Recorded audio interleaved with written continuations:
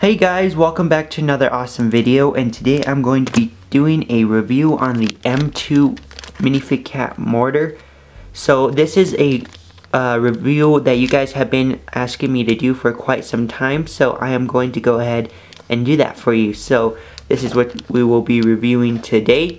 So um, I guess we'll go ahead and just start off with the packaging. So by um, Saturn uh, Toys and then we got, uh, let's get a close-up on a couple of these things right here.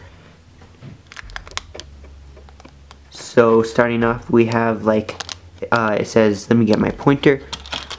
So it says weapons, armor, body, or body wear, special parts, and base plate. So basically it has all these things, I'm pretty sure.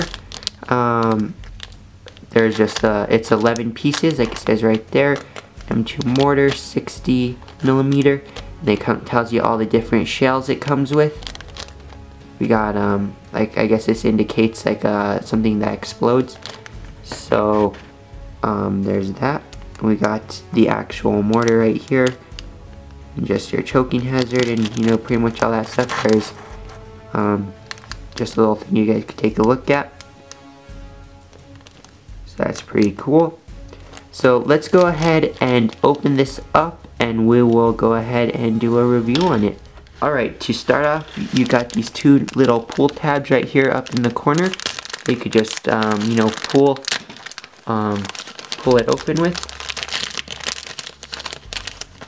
pull that out.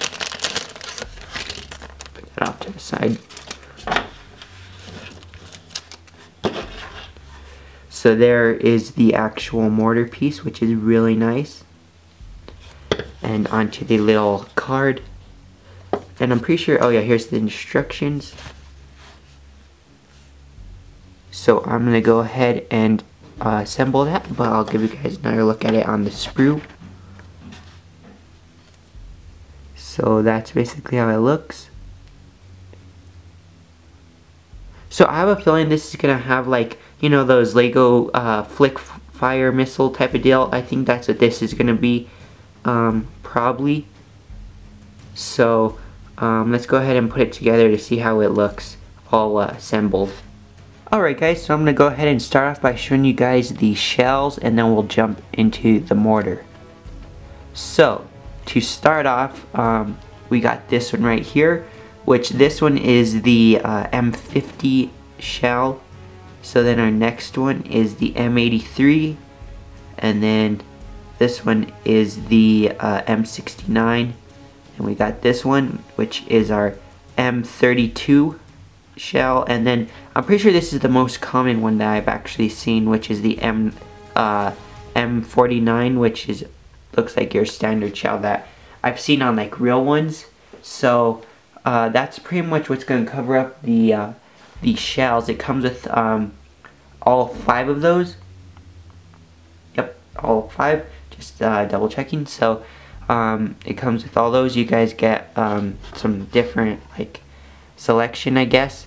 So let's go ahead and jump into the mortar. So onto the mortar. So I'm going to go ahead and show you guys a few things. So this is dual uh, sided. So you, you could, this would be good for some, I guess, any builders. So it, it could stick a base plate on this side and on this side. So I got one little base plate right here I could show you. So it sticks onto your base plates um, just like that. Well, I guess if you guys, you guys probably put it better, but uh, you could do it on this side and this side. But it comes with this little um, thing that makes the uh, mortar be able to swivel. So I'm gonna go ahead and take that off. So it comes with that and as the uh, the bipod which does come off. And th this is a two barrel two like I mean two piece. So if you look in there there's your spring. And what you guys know? I was right. It's like a flick fire type of deal. So I'm gonna go ahead and launch this one. So you guys can kind of get yourself an idea. So you just put it in there and you push it down and let it go so it just shoots off like that so overall this is by far I have to say way nicer than any of the ones I've seen like the brick built ones uh, combined so this is really cool. I guess I could show you guys a minifigure comparison. I don't really have one near me besides my my customs. So I guess I'll go ahead and show you guys how it looks on a custom minifigure. I guess like the scale size. So it's kind of big, but I guess it'll work. So that is that. And um, so this would work out for really good for World War II. And these come in all types of different colors. I picked mine up in black, but they come in tan, green, gunmetal, you know, all, you name it, a bunch of colors.